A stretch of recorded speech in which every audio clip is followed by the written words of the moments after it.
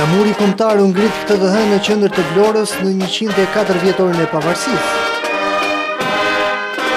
Presidenti i Republikës Bujar Nishani, ministrja e Mbrojtjes Mimi Kodheli, ministri i Industrisë Gjiknuri, kreu i Bashkisë Dritan Leli dhe zyrtarë të tjerë të lartë, vendosën kurora pranë varrit të arkitektit të pavarësisë Ismail Qemali. Edhe këtë vit Vlora mblodhi edhe shumë vizitorë nga Kosova e Maqedonia. Axhenda e festimeve do të vijojë me koncertin e madh festiv, i cili do të mbahet në mbrëmje në Sheshin Pavarësia. Në Fier është organizuar për herë të parë aktiviteti kushtuar një prej ngjarjeve më të rëndësishme të pavarësisë së Shqipërisë, Kuvendit të Fierit, i mbajtur në datën dymbëdhjetë gusht një mijë e nëntëqind e dymbëdhjetë. Profesorë të historisë, studiues të fushave të ndryshme dhe drejtues vendorë diskutuan në sallën e Teatrit Bylis. Nuk është rastësi që Fieri ishte një nga zonat e para që u çlirua në atë periudhë.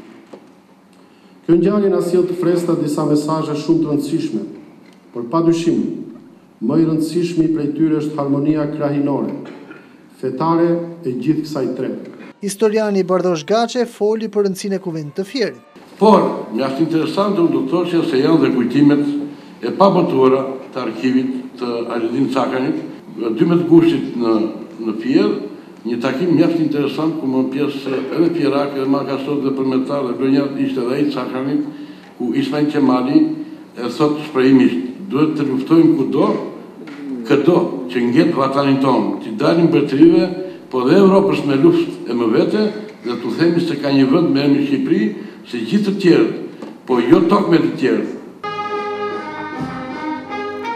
Edhe shkodranët kanë përkujtuar njëqind e katër vjetorin e pavarësisë.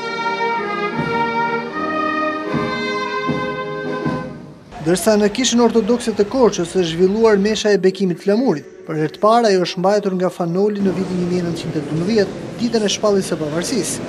O Zot që bekon dhe shenjtëron, Ti bekoje flamurin tonë dhe shpëtoje shtetin tonë dhe popullin tonë nga çdo rrezik dhe çdo garë, dhe drejtoje në rrugën e drejtësisë, të lirisë dhe të përparimit, në Nga ai vit, Mesha është pjesë e festimeve në qytetin juglindor.